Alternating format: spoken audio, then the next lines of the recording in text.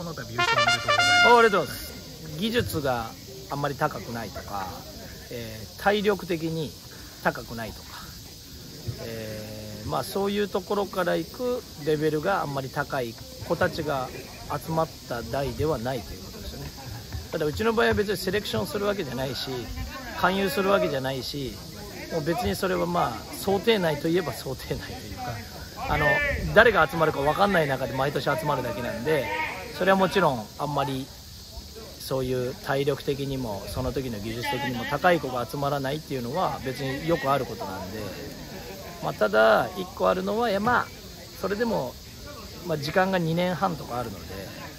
まあその間に、えーレベルがまあレベルが上がるというか一人一人が上手になるかならないか。だからまあ勝つというよりは一人一人が上手くなっていけばまあ、勝つ確率も必然的に上がるという感じでそういう意味では一人一人が多分入った時よりもすごい上手くなったんだと思います。全試合負けてもいい試合ばっかだったんで別にあの先制点がいつも取れてたわけでもないしまあだから強いことに慣れてないというか点数取られて先相手がっていうのもいつものことだし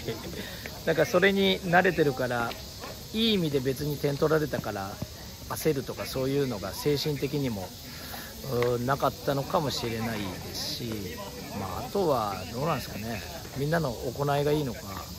誰かすごい勝ち運を持ってる子がいるのか。野球ってもうそのどっちに転んでもいい場面っていっぱいあるんでそれが本当にいい方にいい方になんか転んでいったというか動いていった感じはします。野球というスポーツ自体がうーんいくらいいバッターでも3打数、まあ、中学野球では3打数0安打の日もあるし、えーどんなにうまい子でもエラーする時もあるし、えーまああんまり上手じゃない子に打球が飛ばなければあんまり上手な子がプレーを披露する会もないっていうなんかちょっとまあある意味不思議なスポーツではあると思うんで、まあ、その中であるとするとうん自分以外のいろんなプレーに対して、まあ、みんながすごいそれに興味を持って、まあ、人の失敗を本当に自分が、まあ、失敗したかのようにじゃないけどその人の失敗を共有してだからチームで誰かがしたことが失敗したり成功したことをみんなで共有してなんか上手くなっていったというか、まあ、それがすごい。だから結局そういう意味では同級生が仲いいというかあの人のことにちゃんと、まあ、人のこと野球のこと人のことに興味を持てるかどうかですね。自分のプレー以外に。っていう感じが、えー今の3年生はうんいい意味で強かったというかねそういう思いがあったのかなと思います。そうですね。まああのカテゴリーによって違うと思うんですよね。多分プロ野球とか社会人野球大学野球高校野球いろんなカテゴリーがあるんでそのカテゴリーでいろいろ違うと思うんですけど、まあ、中学野球に関して言うとまだあの子供半分大人半分ぐらいの感じだと思うので、まあ、そういう意味ではやっぱりその、まあ、よく言うチームの輪とかチーム一丸とか私は昔はあんまりそんなこと考えてないと個人だろ個人だろと思ってたんですけどやっぱチームでこうやって監督やらさせてもらってるとまあ毎年見ていくとまあそれがあることによって一人一人が上手くなってチーム力が上がるっていうのはすごい感じます。中学野球は特に、はいタイブレークはねちょっとこう本当巡り合わせとかあと強い打球だろうが弱い打球だろうがそれがねどこに飛ぶかによって本当全然変わっちゃうんで強い当たりでゲッツーになることもあれば弱い当たりで内野安打とか1個しかアウト取れなくて1点入るとか。あーで本当にたまたまその場面でヒットとかエラーとかが出る出ないですごい変わると思うんですけど、まあ、まず一番最初大きくあるのは、まあ、先攻後攻がもちろん決まってるのでうちの場合は後攻だったので、まあ、多分どの監督さんも考えると思うんですけど、えーまあワンアウまあ、中学野球の場合タイブレークがワンアウト満塁高校野球はノーアウト,、ね、ノーアウト一二塁でちょっと違うとは思うんですけど、まあ、中学野球の場合ワンアウト満塁で今回うち後攻だったので先に守備につくっていうことは、まあ、何点取られるかとかっていうことが、まあ、先行の場合は自分たちが攻めてもう何点取ったとか何、えー、とそれで高校の守備をかんもう、まあ、100%どうしようって決めれるんですけど高校の場合は先守りなんで、まあ、簡単に言うとホームホースプレーなんでちょっと前に入ってホームを狙いに行くのかちょっと後ろに入って、まあ、ゲッツを取りに行くのかまずそれは大きく一つ違うと思うんですよね。まあみんなあのワンアウト満塁は、まあ、1点基本はワンアウトで三塁の想定だと1点取られるのはしょうがないよって言って、まあ、2点から3点がどうなのっていう考えになると思うんですけどでうちの場合もあの場面は後ろに入れたのででまあ、えー、とピッチャーとねとかあとサードファーストはちょっとまあ別の考えになるんでしょうけどセカンドショートは後ろに入れてたので、まあ、たまたまねピッチャーの大谷君の上をワンアウト満塁で高いバウンドがいってああいうのももしですけど前に入ってたらあれが例えばセンター前になって2点入って緩い打球だとあれぐらいの緩い打球だと一塁ランナー三塁行って2点入ってワンアウト1、3塁とかねそれで多分盗塁されて また1点、2点入って下手したら3点、4点入る可能性はありますよね。ただあれがまあ後ろに入ってたんで、まあ、ショートの子が斜め後あの後ろから斜め前に走ってきてピッチャーの後ろ取って1個アウト取れて、まあ、1点で2アウト2、3塁になったっていうのがだからそこは多分監督さんにどっちが正解はないんで最初からもう前でグッて圧をかけてくるチームもあれば、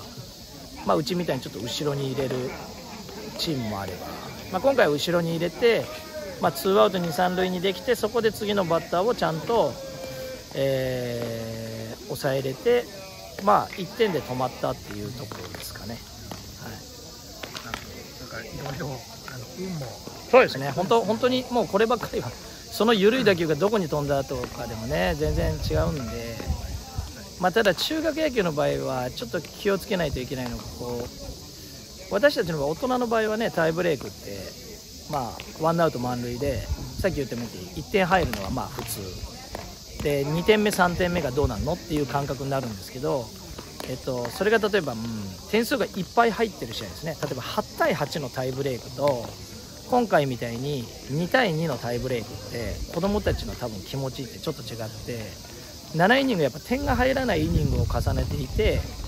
えータイブレークで1点入るのとなんかもうちょっと点数が入っててタイブレークで1点入るのとちょっと気持ち的に違うので特に少ない点数でタイブレークに入った時はなんかその最初あの高校で先、ね、相手方が攻めて1点取られたことがなんかすごい先逃げられてるようなイメージになってしまうんでそこだけは絶対違うよみたいなイメージは大事かもしれないですね。はいまあ、2対2があの場面でだから3対2になったんですけど、まあ、3対2は別に全然1個アウト取れて1点で2アウト2、3塁が全然 OK っていう気持ちを持たないとなんかちょっとこう点数取られたっていうイメージでバタバタしちゃうことは多分中学生ぐらいはあるのかな。でそれがまあねバタバタしないで落ち着いてできたっていうのは良かったかもしれないですね、はい。今年はちょっとどうなんですかね高校野球もまあいろんな強豪校って言われてるところまあ毎年多分強豪校って言われてるとこもね予選で負けたりしてる時もいっぱいあるんでしょうけど特に今年はなんかそれがすごい顕著に出て、えーそういう話題になってましたけど、まあ、中学野球もちょっと全国大会として私がいろんな、ね、夏の全国大会毎年こう見てる感じでいくとやっぱりどこのチームもすごいエラーが多かったです。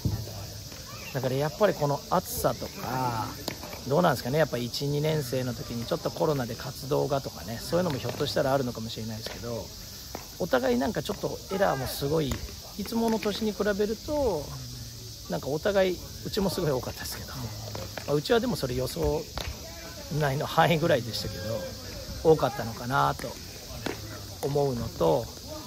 まあ今年はでもやっぱり、ね、みんな大体試合出てる子が160何センチの子とかが多かったのもあったんですけど、まあ、いいとこでねタイムリーがちょんとかって打ったりありましたけどまあ長打が出ない。こんだけ長打が出なくて、えー優勝まで行ったのもちょっと珍しいかなと思いますね。まあでもその分なんか要所要所でこの子たちはなんかポンってタイムリー打ったりとかはしてたと思うんですけどいつもだとね最近やっぱこう野球界もちょっと変わってきて打率というよりはね長打率ですね。長打率とかそういうのがあやっぱりこうクローズアップされる中で中学野球もやっぱ長打ってすごい効くのでもう今中学生でも本当ホームラン出ちゃうし長打で走者一掃とか長打で出て送りバントがなしで長打の後でつながっていくとかってすごい、えー昔より多分多いと思うので、まあ、それに関して言うとこれだけ長打が全くなくてよく勝ったなと思うのはあるんですけどやっぱまあでもそれでもピッチャーがねやっぱり野球はピッチャーなんで勝ち負けは。まあ、ピッチャーが本当によくみんな頑張って追ってくれたのかなっていうのはもう、まあ、多分どの大会でも優勝するときはやっぱピッチャーがよく頑張ったっていうのは絶対あると思うので、と思いますあの私はいつも言うんですけどやっぱり、えー意外と上手くなるのってやっぱり負けた時とか悔しいとかそれそう思った時の方が私はパワーはすごいんじゃないかなと思ってて。まあ、もちろん勝ちを経験するっていうのは悪いことじゃないんですけどうんだからそこら辺がちょっと心配というか、だけどまあそれでもほとんど彼らも全部優勝するわけじゃないんでまあ春の全国大会とかの負けを経験してそこでそっちも経験して今回勝ちも経験したのでやっぱ勝つ時ってどんな感じとかねどういう風にやると勝つとかねそういうのは逆にこう負けなかった分勉強したとこもあると思うし、えーまあ、決勝戦とかは、えーうちまあイニングの間ミーティングとかあんましないんですけどうん途中からはなんか自分たちでなんか集まってワーワー言ってたりとか自分たちでミーティングやってたりとか勝手にしてたんでまあそういうのはやっぱり勝ちに結びついたのはあると思うのでそれはそれでね成功体験として、えー役に立ててくれればいいなと思います。ただ多分まだ今後もうちょっと大会ありますけど、まあ、絶対負けると思うんで、はい、なんか最後は負けて 負けて悔しくてそのパワーでうん。行くのを行く方がいいのかなってちょっと正直は思ってます。なるほど。わかりました。ありがとうございます。おはい。めでとうございました。はい。ありがとうございました